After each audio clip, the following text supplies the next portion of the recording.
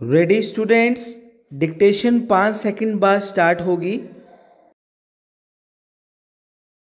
गणतंत्र दिवस की पूर्व संध्या पर राष्ट्रपति द्वारा राष्ट्र के नाम प्रसारित संदेश में राष्ट्रपति महोदय ने कहा कि मैं प्रार्थना करता हूँ कि भारत निरंतर सुदृढ़ होकर आगे बढ़े।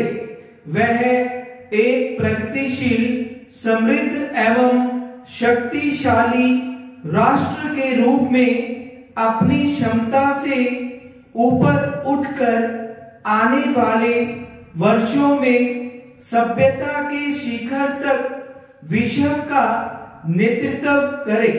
सचमुच यह हमारे स्वतंत्रता संघर्ष में महान नेताओं का स्वप्न था। परिकल्पना थी भारत की स्वतंत्रता में उन्होंने मानव जाति के लिए एक नई आशा देखी थी। मुझे नेताजी सुभाष चंद्र बोस, जिनकी हम इस वर्ष जन्म शताब्दी मना रहे हैं, के प्रेरक शब्द याद आ रहे हैं। आज़ाद हिंद रेडियो पर अपने प्रसारण में 19 फरवरी 1942 को नेताजी ने कहा था, हिंदुस्तान की मुक्ति से एशिया और विश्व मानव उद्धार के बड़े लक्ष्य की ओर बढ़ेंगे। भारत, जिसका इतिहास हज़ारों वर्षों का है। उसके नागरिकों को यह पचास वर्ष का समय शायद अधिक न लगे। हम नागरिक आज़ादी के बाद भारत की उन्नति पर गर्व करें तो यह उपयुक्त ही होगा। यह बेहिचक कहा जा सकता है कि प्राथमिक द्वितीय एवं तृतीय सभी क्षेत्रों में ठोस प्रगति एवं सकारात्मक उपलब्धियाँ प्राप्त हुई है। हमारे देश ने संघीय प्रणाली के अंतर्गत संसदीय शासन पद्धति से काम करने का करीब पाँच दशकों का अनुभव प्राप्त किया है। दयनीय, गरीबी भूखमरी, बीमारियाँ तथा अज्ञानता से अनेक लोग पीड़ित हैं। हमारी नीति और कार्यक्रम की उपयुक्त और प्रभावशाली पर प्रश्न चिन्ह लगाती है। कमज़ोर वर्ग के लोगों और महिला के विरुद्ध अपराध, हिंसा तथा धमकियों जैसी कार्यवाही एवं समतावादी समाज बनाने के हमारे दावों को चुनौती देती है। विकास के लाभ का पर्याप्त भाग हमारी बढ़ती हुई जनसंख्या, विशाल देश में सम्मान वितरण के कार्य में अंतर्निहित जटिलता के कारण निरस्त हो सकता है। सात दशकों से भी अधिक पहले महात्मा गांधी ने हमें सात सामाजिक सावधान किया था।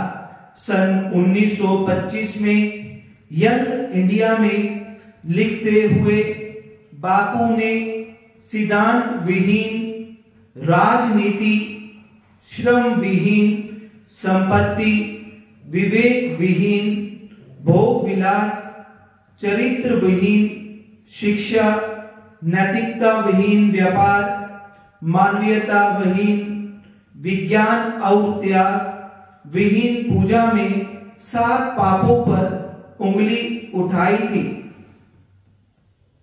जातिवाद, सांप्रदायिकतावाद को जिनका भ्रष्टाचार और अपराधों के साथ घृणित एवं खतरनाक गठबंधन है, स्पष्ट रूप से सीधे सीधे नकारा जाना चाहिए। हमारी लोकतांत्रिक सरकार एवं विकास की संस्थाएँ, संसद, न्यायपालिका, कार्यपालिका, लोक सेवाएँ और प्रेस उतनी ही प्रभावशील होगी जितनी की इनके कार्य के जिम्मेदार लोग चाहेंगे। अपनी संस्थाओं का पतन से बचाने उन्हें शक्तिशाली बनाने तथा उन्हें लोगों की आकांक्षाओं के अनुरूप अधिक उत्तरदायी एवं सक्षम बनाने के लिए हमें उनमें राष्ट्र, भक्ति का उत्साह, प्रतिबद्धता, समर्पण, निष्ठा और निस्वार्थ सेवा की भावना लानी होगी, जो हमारे स्वतंत्रता संघर्ष की भावना लानी होगी, जो हमारे स्वतंत्रता संघर्ष की भावना रही है। इस पुण्य बेला पर हम अपने राष्ट्रीय संकल्प को दोहराए अपनी मातृभूमि के लिए स्वयं को समर्पित करने की प्रतिज्ञा करें। भाइयों और बहनों, देशवासियों, विवेक हमारा मार्ग प्रशस्त करे। प्रत्येक नागरिक ज्ञानवान हो, और वह अपने पड़ोसी का मित्र बने, भारत गौरवशाली बने। श्रीमान प्रशांत क्षेत्र के देशों में मानव अधिकारों की स्थिति में कोई सुधार हुआ है या नहीं, यह इस बात पर निर्भर करता है कि आप इन अधिकारों को किस तरह प्रभाषित करते हैं। वास्तव में देखा जाए तो केवल नागरिक, राजनीतिक अधिकारों को ही मानव अधिकार नहीं कहा जा सक, जा सकता। उनमें सामाजिक, सांस्कृतिक और आर्थिक अधिकार भी शामिल हो जाते हैं। अंतरराष्ट्रीय अधिकार प्रस्ताव में इसका यही आकार स्वीकार किया गया है। लेकिन दिक्कत यह है कि प्रशांत महासागर तटीय जापान तथा दक्षिण कोरिया से लेकर दक्षिण एशिया के फिलीपींस तक के देश सहित विश्व के अधिकांश देशों में मानव अधिकार को इस नज़र से नहीं देखा जाता।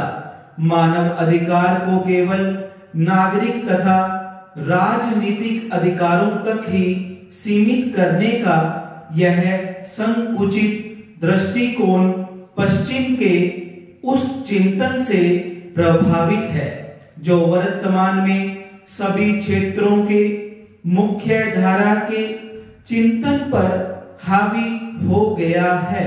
इसलिए एशिया प्रशांत क्षेत्र के मानव अधिकार कर्मियों और चिंतकों के सामने सबसे बड़ी चुनौती यही है कि वे अपनी तीखी बौद्धिकता, सौम्य दलीलों के माध्यम से उन्हें इसका खंडन करना चाहिए। यदि हम अधिकारों के बारे में व्यापक दृष्टिकोण अपनाएँ और पूरे क्षेत्र पर समग्र रूप से नज़र डालें तो हमें मानना पड़ेगा कि प्रत्येक वर्ग में काफ़ी सुधार हुआ है।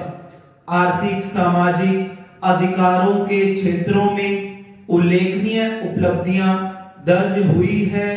और यहाँ की आबादी के काफ़ी बड़े हिस्से को खाद्य, रोज़गार, शिक्षा और स्वास्थ्य परिचर्चा के बुनियादी अधिकार प्राप्त हो गए हैं।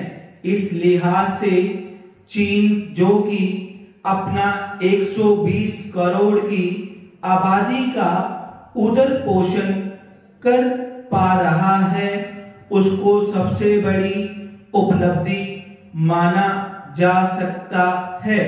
आर्थिक समृद्धि से आने से मलेशिया, ताइवान, कोरिया और थाईलैंड में जिस समय मध्यम वर्ग शक्तिशाली हुआ,